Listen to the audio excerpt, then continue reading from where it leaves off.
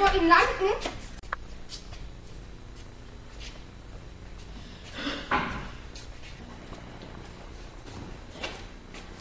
Fertig. Wie das?